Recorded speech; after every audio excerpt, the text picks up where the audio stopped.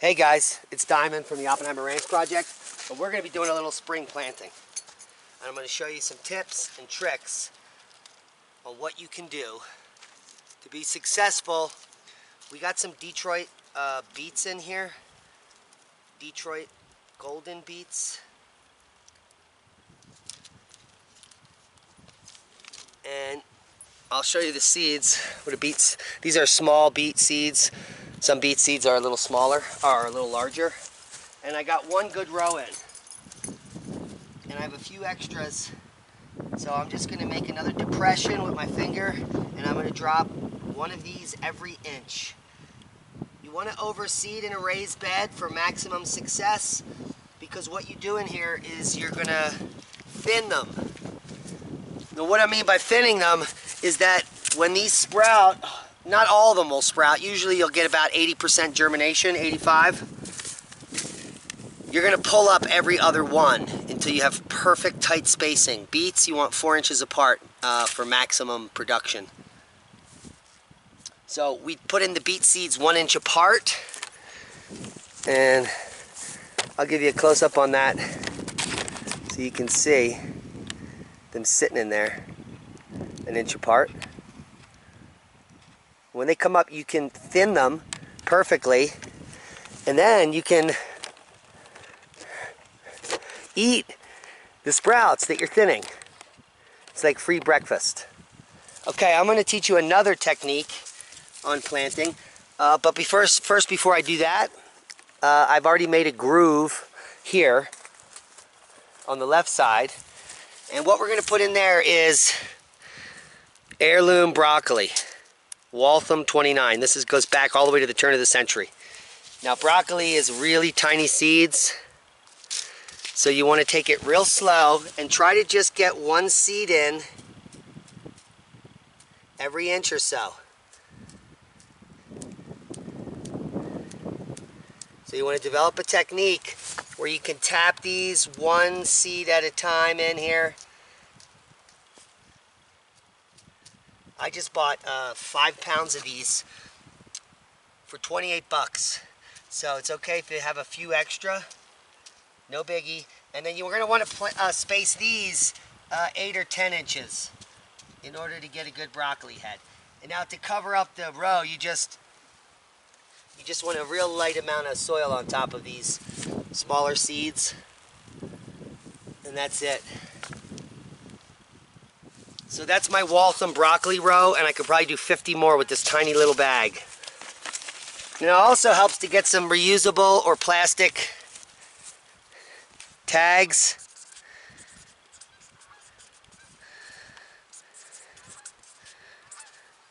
So you can remember what you got going on here. So there's my first row there.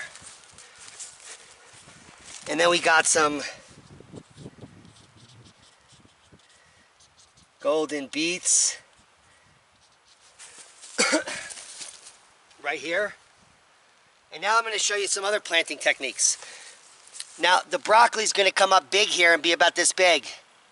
The beets will be a little smaller. So what I want to grow in the middle here is, a, uh, and the sun's going to be tracing up in this direction, they're south. So what I want to plant in the middle now is some carrots. I have this awesome rainbow mix to plant carrots, you just do the same thing. Now what I'm going to do with these carrots is go a different way here. And I'm going to make some of these rows here like this for the carrots.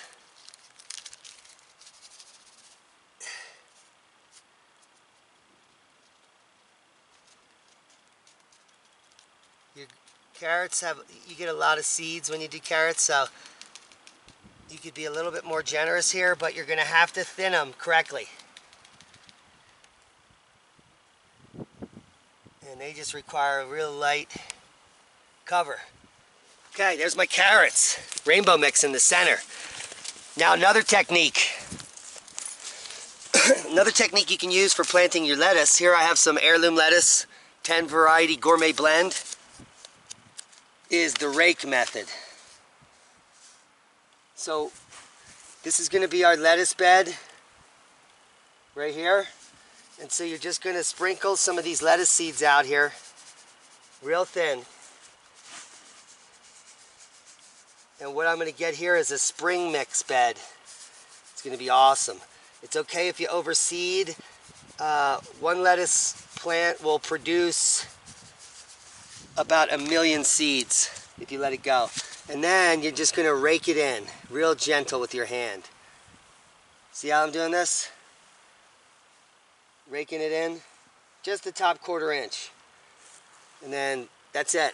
So my lettuce bed is done. So I got lettuce here, carrots here, broccoli, and beets, which I'm going to cover. So the beets are still exposed. So let's cover the beet seeds up. These are Detroit Golden beets.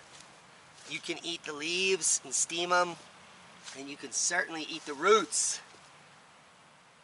One of our favorite vegetables are beets.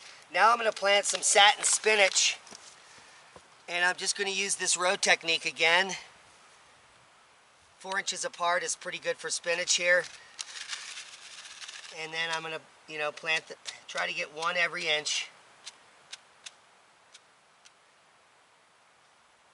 Don't want to go crazy here because if they're too tight, if you leave plants too tight, they're not going to do well. They're going to uh, be crowded and they're going to be smaller. So it's imperative that you uh, thin your seedlings. It's imperative you come out here and spend an hour and gently pull them out. We'll show you how to do that uh, when these emerge but we're not quite done yet. So, notice how I don't wear gloves when I'm seeding. So I have spinach, I got some rainbow carrots. Let me see what else I got here. And now we'll just put in a small patch of heirloom kale and we'll use the rake method. So here's my final square. And I'm just gonna graciously sprinkle these kale seeds into that region. Just a tiny bit. And then I'm gonna rake them in. Now this entire raised bed is maximum capacity, hand seeded. We got spinach, we got kale, we've got rainbow carrots, we've got a gourmet 10 lettuce blend. I've got Waltham broccoli coming up here, and we've got beets on the other side all in 40 square feet. Now we're going to mulch this with hay and water it and protect it from the animals here and you can follow us on the way. So when we're done it's going to look just like this or even like this where we already have garlic emerging and it looks glorious. So these are already seeded out and planted. We can see some of the uh, brassicas already coming up here.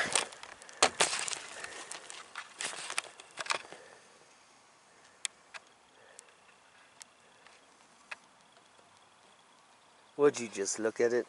This is very early for where we're at. For anything. Guys, I hope you got something out of the video. So we're going to go ahead and mulch this. Um, and I'm going to water it in.